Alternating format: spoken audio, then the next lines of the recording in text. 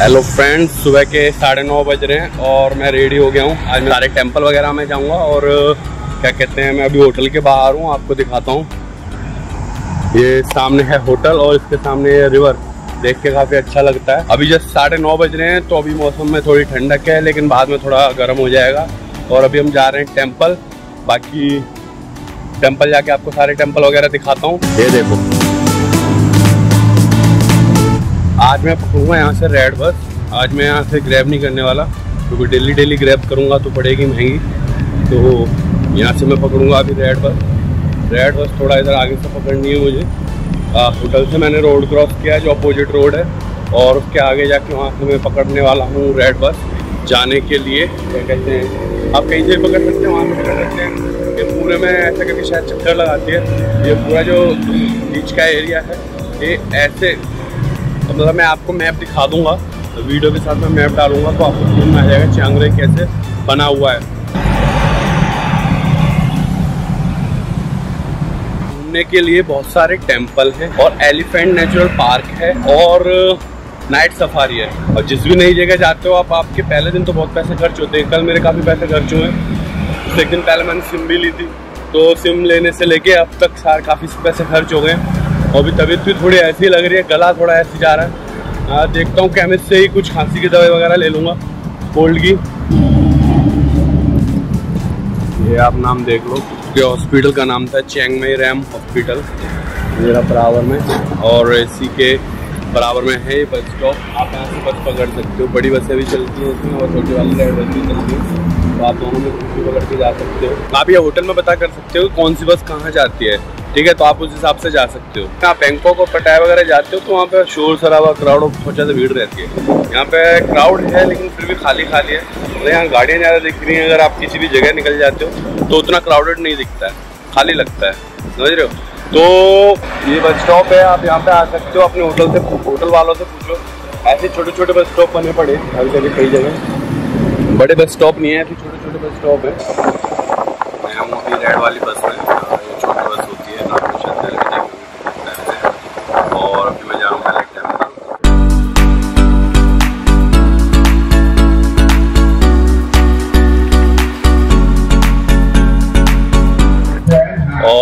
मैं आ गया हूँ वादफरा टेंपल जो के ऊपर पहाड़ पे आके मैंने दो रेड बस बदली है। पहली जो रेड बस थी, मेरे को उसने उतारा जू पे, और जू से मैंने दूसरी रेड बस ली, उसने मेरे को उतारा यहाँ टेंपल पे। मंदिर में अंदर आने के लिए सीढ़ियाँ हैं बराबर में।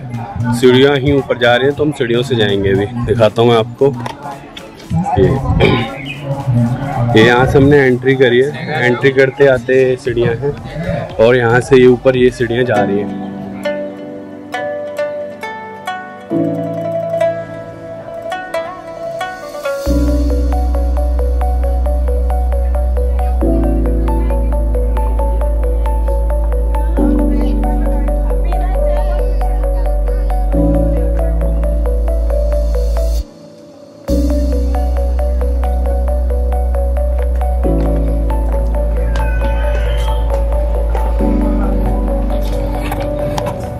और फाइनल इतनी सारी सीढ़ियाँ चढ़ने के बाद हम आ गए ऊपर। मंदिर में अंदर जाने के लिए टिकट लगती है जो टिकट काउंटर है ऊपर सीढ़ियों पर चढ़ने के बाद राइट में आके यहाँ से भी हम टिकट लेंगे। और यहाँ से भी हम टिकट लेंगे उसके बाद फिर अंदर एंट्री करेंगे। ये है टिकट काउंटर यहाँ से पर आदमी थर्टी बार टिकट है। मैंने ले लिया टिकट एयर टिकट ये थर्टी बार टिकट हम जाएँगे मंदिर।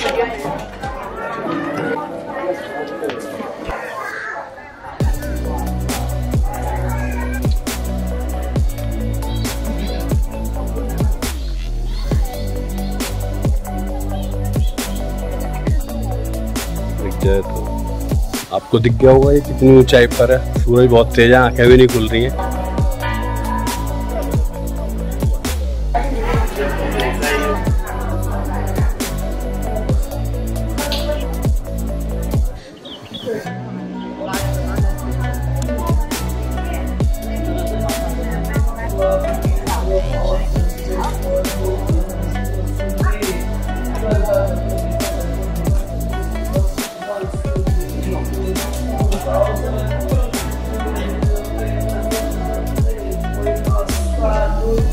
लगभग मैंने आपको सारा मंदिर दिखाई दिया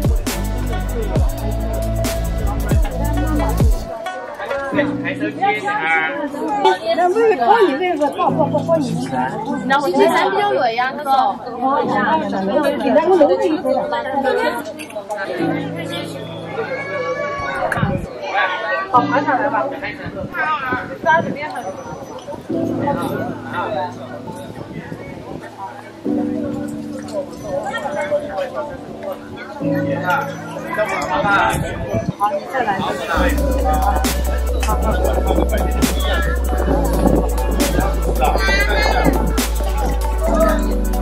अब मैं जा रहा हूँ नीचे ऊपर आपको दिख ही रहा होगा और इससे नीचे जाना है जितनी सीढ़ियाँ चढ़े थे ऊपर उतनी सीढ़ियाँ नीचे वापस लेट्स गो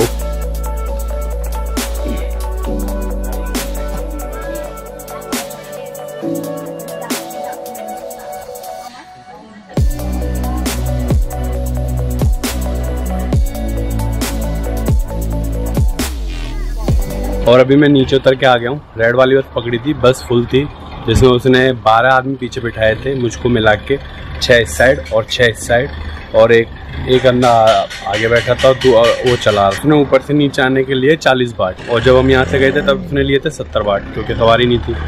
तो उसी हिसाब से वो काउंट हो जाते हैं, पैसे तो चालीस बाट लिए हैं और यहाँ पे जू है। जहाँ से इसकी चढ़ाई स्टार्ट होती है ना मंदिर की, वहीं जू है लेफ़्ट में। और फिर यहाँ से चढ़ाई स्टार्ट हो जाती है मंदिर की। मेरा कहना ये है कि जैसे कि अगर आप टूर बुक करते हो, चाहे वो होटल से बुक कर लो, और आसपास कोई टूरिज़्म का वो देख लो, उससे बुक कर लो तो उसमें फ़ायदा ये रहता है कि आपको होटल से गाड़ी पिक करती है और होटल पे ही छोड़ती है। और दूसरा ये आपको कहीं पे टिकट या किराया देना नहीं पड़ता। और ख़ासकर तो थाईलैंड में।